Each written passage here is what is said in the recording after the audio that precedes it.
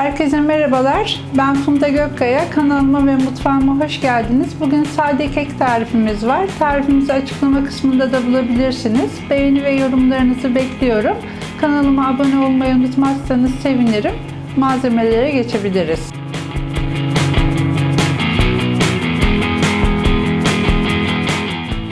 Kekin malzemeleri 3 adet yumurta, 1 su bardağı şeker, 1 su bardağı sıvı yağ, 1 su bardağı su, 1 paket kabartma tozu, 1 paket vanilya, 1 çay kaşığı tuz, 12 çorba kaşığı dolusu un.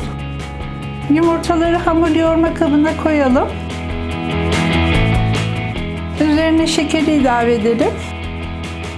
Mikserle 3-4 dakika çırpacağız.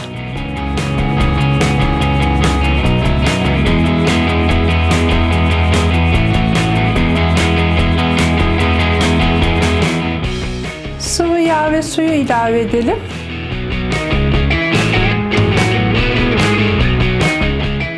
Mikserle tekrar 3-4 dakika çırpacağız.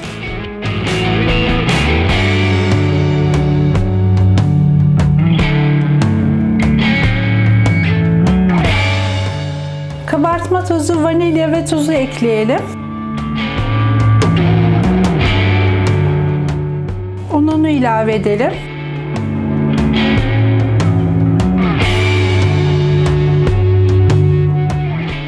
Mikserle 1-2 dakika daha çırpacağız.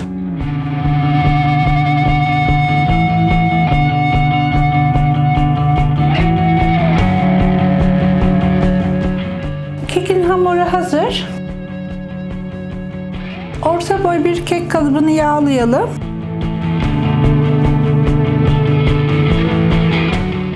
Kek hamurunu kalıba boşaltalım.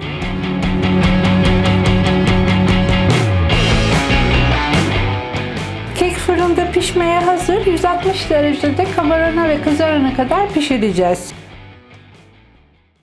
Sade kek pişti. Hazırlığı ve pişmesi dahil olmak üzere 1 saatimi aldı. Verdiğim ölçülerden 18 dilim çıkıyor. İyice soğuduktan sonra servis yapabilirsiniz. Tarifi deneyeceklere şimdiden afiyet olsun. Görüşmek üzere, hoşçakalın.